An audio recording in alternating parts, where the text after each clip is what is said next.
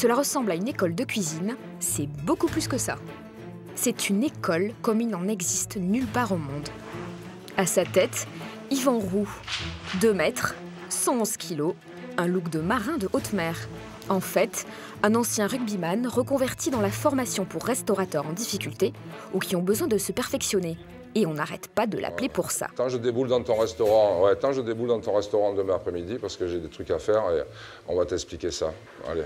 Alors c'est euh, un copain restaurateur avec qui on travaille depuis déjà un an et demi et qui en même temps ne comprend pas que si on n'investit pas, on ne peut pas gagner. Il faut mettre un peu les couilles en avant.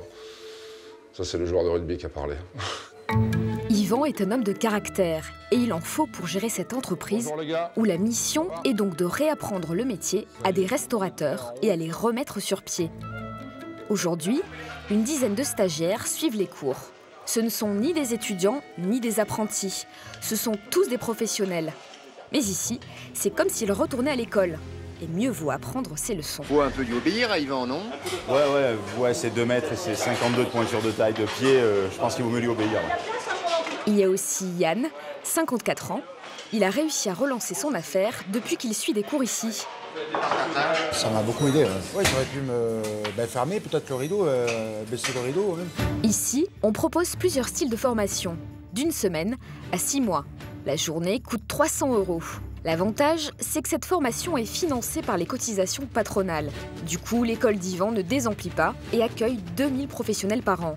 Car des restaurateurs en difficulté, il y en a beaucoup plus qu'on ne se l'imagine. Donc là, globalement, euh, c'est tous les dossiers qu'on a fait euh, tout au cours de l'année 2014. Il y en a à peu près, euh, je ne sais pas compter, mais à peu près 400 quoi. Mais avant de coacher des restaurateurs, Yvan a été rugbyman dans le club de Toulon. Une belle carrière couronnée par un titre de champion de France en 1987. Passionné de cuisine depuis toujours, il a d'abord ouvert un restaurant pour se reconvertir, puis il a décidé de monter une école d'un nouveau genre avec une méthode bien à lui. La méthode Yvan Roux, elle est de l'expérience de ce que j'ai pu, moi, accumuler dans la restauration. Maintenant, s'il faut euh, de temps en temps pousser la gueulante, euh, je ne suis pas le dernier, oui, ça c'est sûr. Et pousser la gueulante, ça lui arrive assez souvent, surtout lorsqu'il rend visite à ses anciens stagiaires. Et cela, qu'importe l'établissement. Qu'on fasse du snacking, de la boulangerie, de la pâtisserie ou qu'on fasse euh, un restaurant étoilé, on trouvera forcément, si on cherche, on trouvera toujours quelque chose. Surtout en matière d'hygiène et de sécurité, un domaine particulièrement réglementé en France. La moindre erreur peut coûter cher.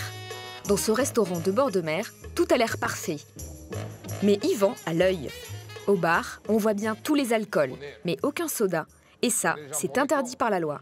On doit mettre une étagère avec 10 bouteilles soft présentées.